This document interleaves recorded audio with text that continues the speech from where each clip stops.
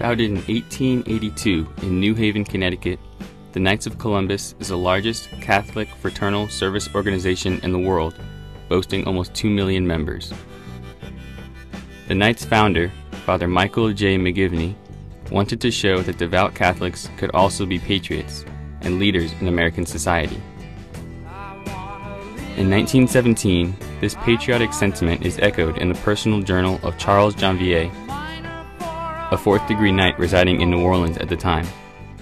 Speaking about the duties of the American people upon the outbreak of World War I, he says, With conscientious resolution, with self sacrificing devotion, we must cut out of our lives all luxuries, diminish and trim down all non essential comforts, curtail all dispensable pleasures, and be grateful for the opportunity and the privilege of serving and contribute to the honest and complete fulfillment of our sacred duty.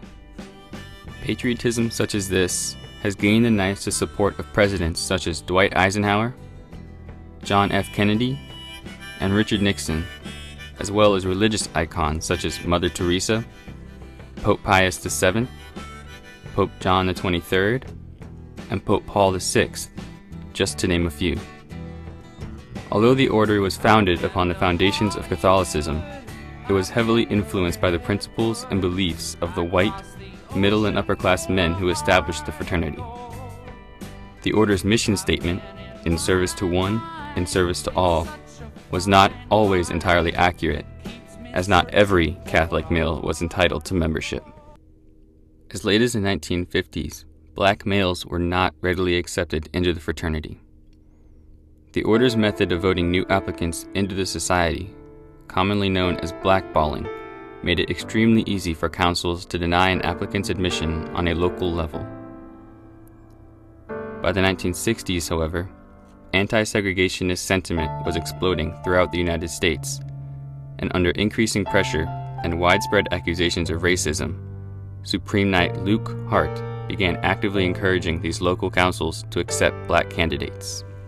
His efforts were futile, however, and in 1963, a graduate of Notre Dame University was rejected by a council of the Knights of Columbus in Chicago because he was black. In protest, six of the council members publicly resigned, and the event made national news, adding to the already precarious position the order was in. As a result, Hart vowed to change the order's segregationist policies at the following annual meeting for the Supreme Council of the Knights. However, he died before the council took place, leaving the issue to be taken up by his successor, John McDevitt. The 1964 convention for the Supreme Council was scheduled to be held in New Orleans, Louisiana. A few days before the convention was to begin, McDevitt received word that the Roosevelt Hotel, where the convention was going to be held, did not accommodate black guests. Here, the order was faced with a serious problem. Already having been in the national spotlight for the past several months over the race issue, McDevitt could hardly afford to add fuel to the fire.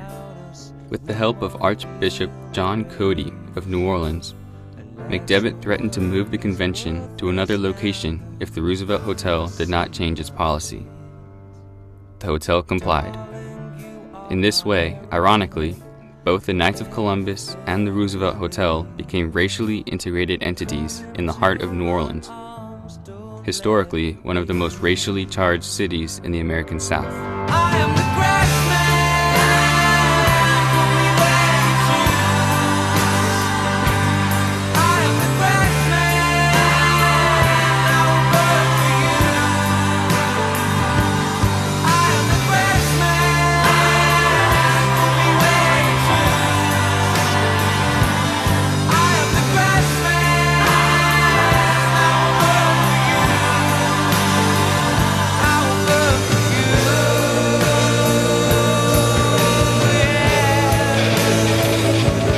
While the Knights of Columbus have performed their religious and patriotic duties admirably in the past century, the events that transpired in 1963 and 64 are prime examples of how religious institutions can be heavily influenced by the beliefs of a particular culture or society over time, and vice versa.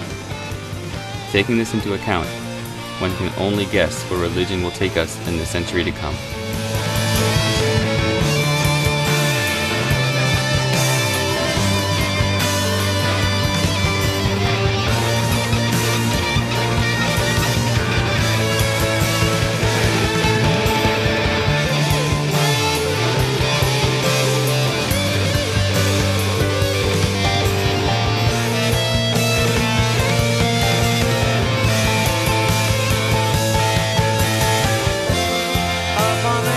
side.